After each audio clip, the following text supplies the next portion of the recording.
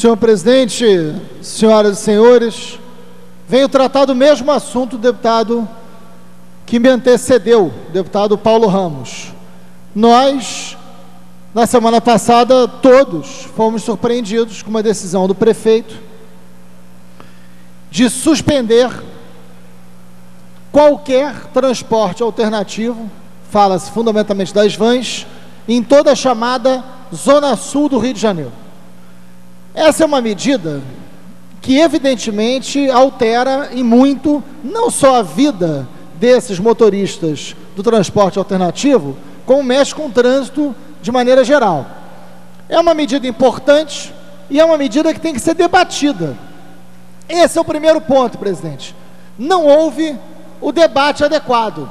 Não sei, mas busquei informação. Se a Câmara de Vereadores, um espaço que precisava ser mais respeitada pelo prefeito, aliás, precisava ser mais respeitada pelos próprios vereadores, fez alguma audiência pública sobre a questão do transporte, Bebeto, para tomar essa decisão.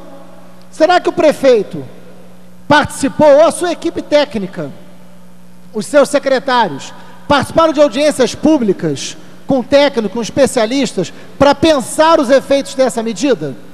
Isso foi, de alguma maneira, socializado, amplamente debatido? Não estou dizendo que a medida não pudesse ser tomada, mas com quem ela foi debatida, interesses de quem estão sendo ali preservados? São realmente apenas os interesses da população? Ou será que não? Essa não foi ouvida.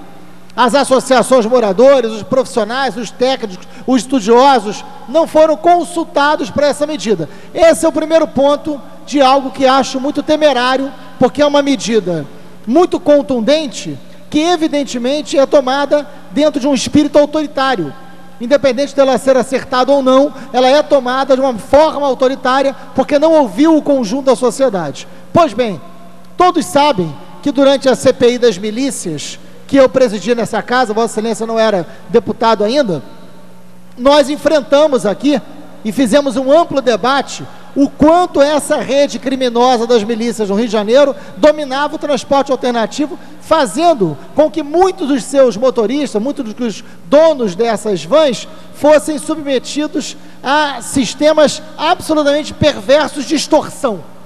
Em várias áreas do Rio de Janeiro, onde a milícia domina, onde a milícia tem o domínio territorial e econômico das atividades, dominam também o transporte alternativo. Isso está no relatório da CPI.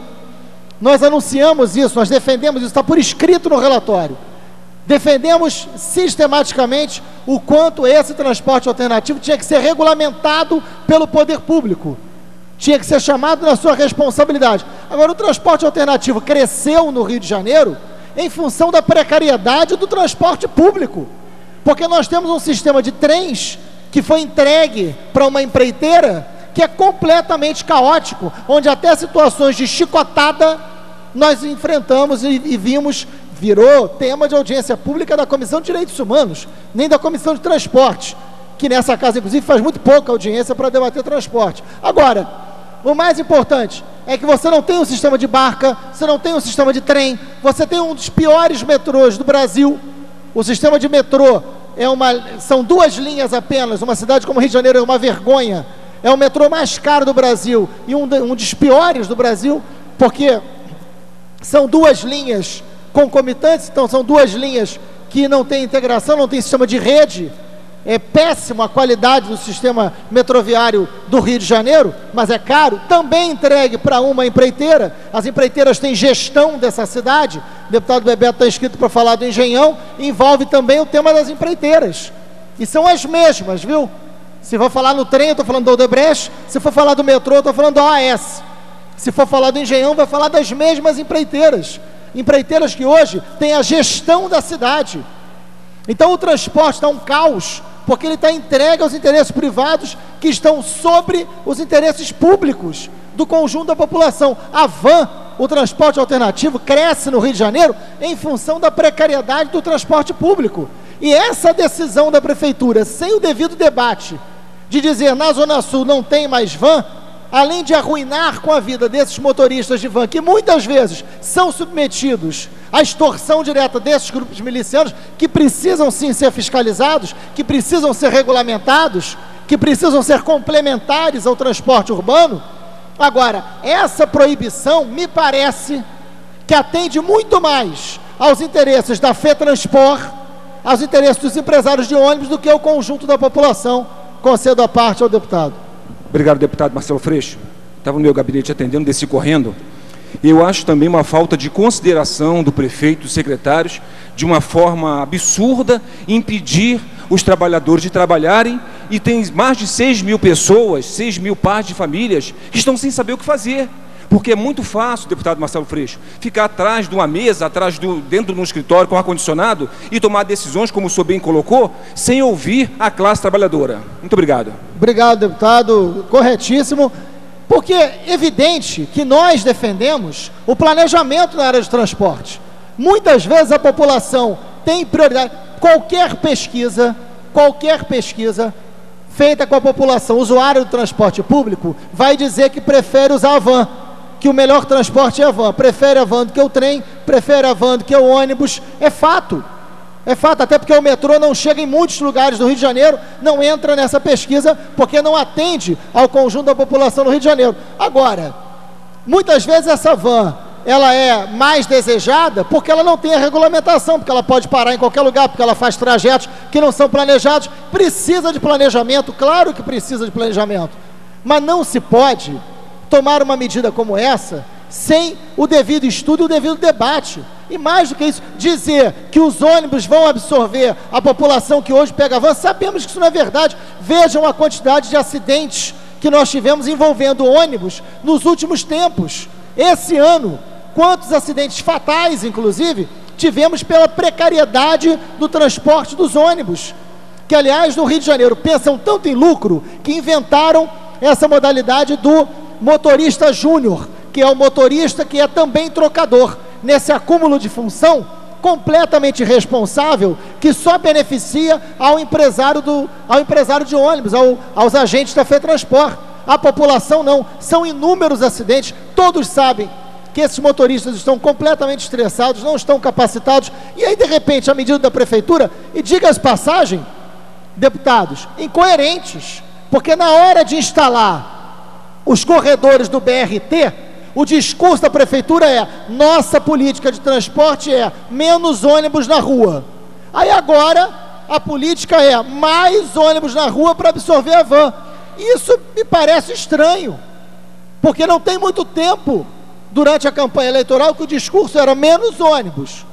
Passa a eleição, mais ônibus. E a FETransport, mais uma vez, se vê feliz da vida numa condição horrorosa de serviço que oferece ao conjunto da sociedade. E aí vale ver, vale ver a licitação feita pelo mesmo prefeito Eduardo Paes, em 2007, quando ele já era, e a, a, a licitação feita no seu primeiro ano de governo, essa depois de 2008, perdão, essa licitação feita pela atual prefeitura beneficiou as mesmas empresas de ônibus que formaram os seus grupos, as antigas empresas se agruparam e dominam as linhas. São as mesmas empresas que dominam oferecendo um péssimo serviço. A licitação feita por essa prefeitura tinha carta marcada. Nós sabíamos já quem eram os vencedores. Sabemos quem domina esse sistema de transporte de ônibus do Rio de Janeiro. Mais do que isso, essa medida e parte dos meios de comunicação essa medida de proibição das vans da Zona Sul, ela pensa no trânsito, tendo à luz aqueles moradores da Zona Sul que saem da Zona Sul e vão para o centro. É o típico pensamento de quem anda de carro. Vamos tirar as vans, vai melhorar o trânsito, porque o deslocamento da população da Zona Sul para o centro vai ficar melhor. Se esquece, talvez não à toa, da quantidade enorme de trabalhadores que vêm de outros lugares para a Zona Sul para trabalhar, seja na casa das pessoas, seja no comércio da Zona Sul. Não são poucos, não são poucos os trabalhadores de toda a região metropolitana do Rio de Janeiro que se utilizam das vans para chegar na Zona Sul para trabalhar. Saem de queimados, saem de qualquer área da região metropolitana, saem da Baixada Fluminense e eles vêm para a Zona Sul, fundamentalmente se utilizando das vans, porque não tem um bom sistema de trem, porque não tem sistema de ônibus. Vejam como é a região de Jacarepaguá, que tem um péssimo serviço de ônibus, Toda a região de Jacarepaguá tem como principal meio de transporte a van. Por quê? Porque você não tem um sistema de metrô, porque você não tem sistema de trem e porque você não tem linhas de ônibus. Veja a Ilha do Governador, onde você não tem metrô, onde você não tem o trem e você tem um monopólio de um serviço horroroso das empresas de ônibus.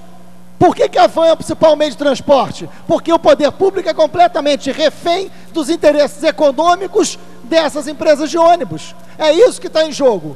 Não estou com isso aqui defendendo o vale tudo das vans. Tem que ser regulamentado, se tem crime organizado envolvido, tem que ser enfrentado. Falei isso inúmeras vezes ao longo dos últimos anos. Agora, não pode uma medida que favorece economicamente um setor econômico do transporte e não pensa na população. Não são poucos os trabalhadores da região metropolitana que têm a sua vida, muitas vezes agora, inviabilizada.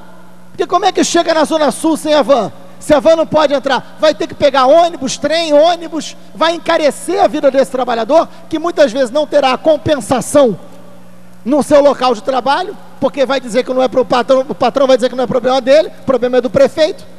Vai gastar mais, gasta mais tempo, tendo um sacrifício enorme na sua qualidade de vida. Para quê? Para melhorar o trânsito? Para melhorar o sistema de transporte? Não, por subserviência à FETransport. É isso que está em jogo hoje no Rio de Janeiro. Não pensou mais uma, vez, mais uma vez no trabalhador.